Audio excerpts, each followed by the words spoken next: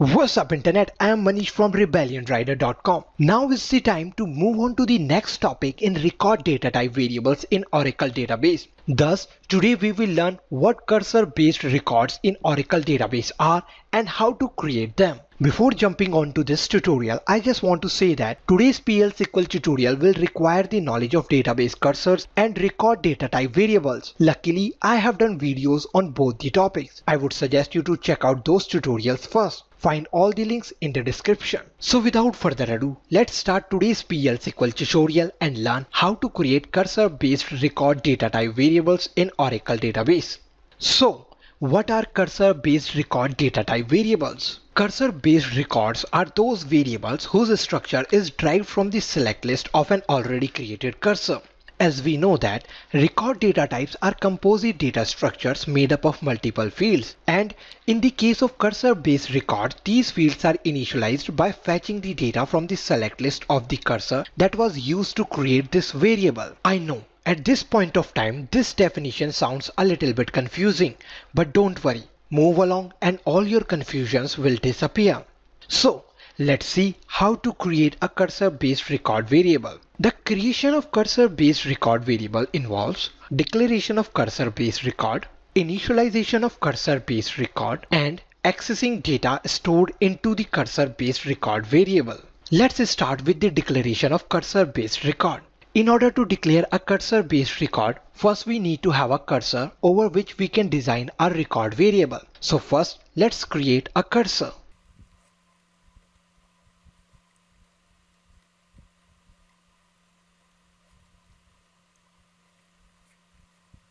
Here is our cursor. This is the same simple explicit cursor which we had discussed in PL SQL tutorial 27. So for more details on simple explicit cursor, please watch that tutorial. Now let's use this cursor and declare our cursor based record variable.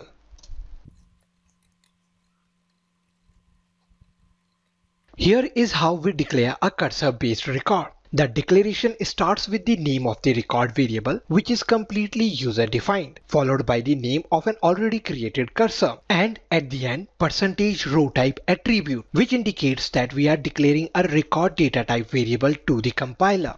As now we have declared our cursor based record data type variable, next we have to initialize it. So let's see how to initialize a cursor based record. As we are initializing a record variable which is based on a cursor, thus we have to make sure that we should follow the cursor lifecycle properly. This means that before fetching the values from the cursor and storing them into the cursor based record variable, we have to open the cursor that was used to create this variable. Let's see how.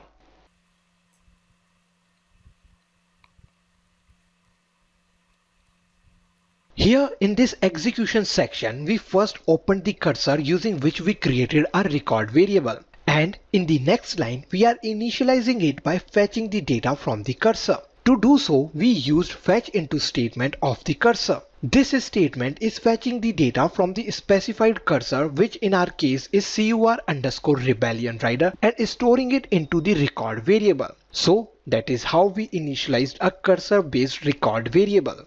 Now Let's move ahead and learn how to access this stored data from our record variable.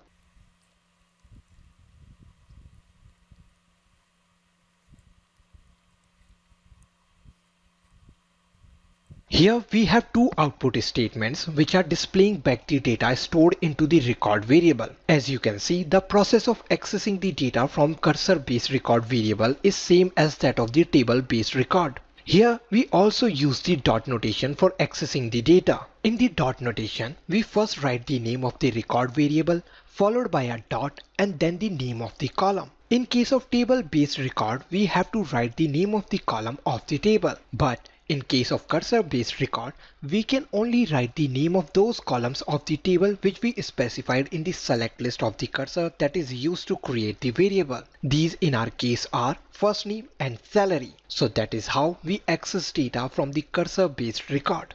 So now that we have declared and initialized the cursor based record and have also fetched and displayed the data back to the user, it seems like the work of the cursor is done here which means we have to close this cur underscore rebellion rider cursor now.